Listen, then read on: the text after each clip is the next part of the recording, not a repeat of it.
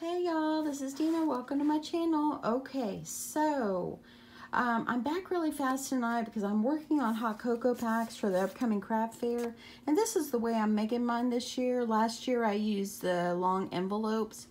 Um, but I wanted to jump on really fast and give you a, just kind of refresh your memory if you haven't seen, if you've seen my video before or if you haven't, this is how I'm making mine this year. And y'all, you don't have to go out and buy the envelopes. This is super easy, super fast.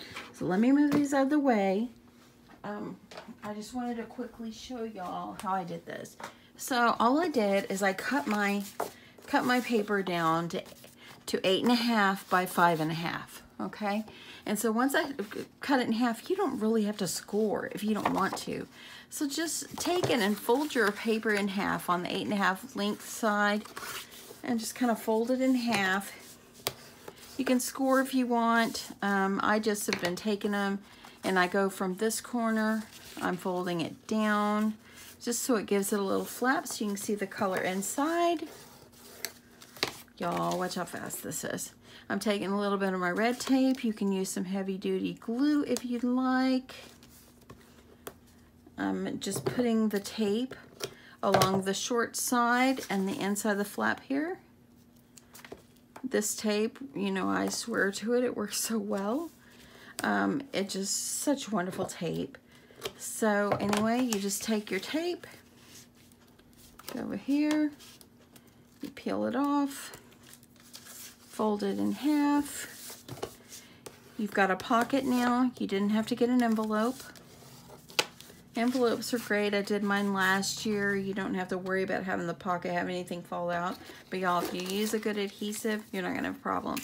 Take your Swiss Miss Cocoa, stick it down in the pocket, add a little candy cane. You've got that right there. Um, then I've been taking twine. You can use whatever you like, ribbon, whatever. Take your twine, wrap it around a couple times. You can use, if you're out of twine, if you've like used up all your twine making everything, you can use washi tape, ribbon, whatever you like. You can leave this part off if you want. But I just think it gives it a little decoration and it's super cheap to add that in. So now you've got that. Then all I'm doing is I'm taking some of the cut aparts and I'm just going to take take one and I'm going to stick it on there. That way it gives a little embellishment card. Okay, I don't want to cut. Okay. I'm just going to cut out the joy. Um, what I will do is go with my paper cutter, of course, and I will cut these out. But I wanted to just jump on really fast and show you guys show you guys how I do this kind of refresh your memory. It's crunch time for craft fairs, so this is a great alternative for you to, to do. So just cut out your little embellishment card, your cut apart. I just been, you know, angling my corners.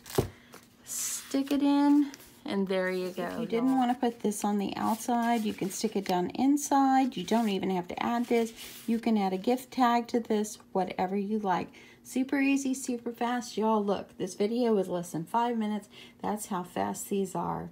So, uh, yeah, I got my hot cocoa at Costco. They were less than $6 a box for 60 Actually, yeah, 60 And, uh, yeah, super great deal. And, uh, yeah, uh, hope you like this. Hope you'll give it a try. And, yeah, I'll see you guys later. Bye.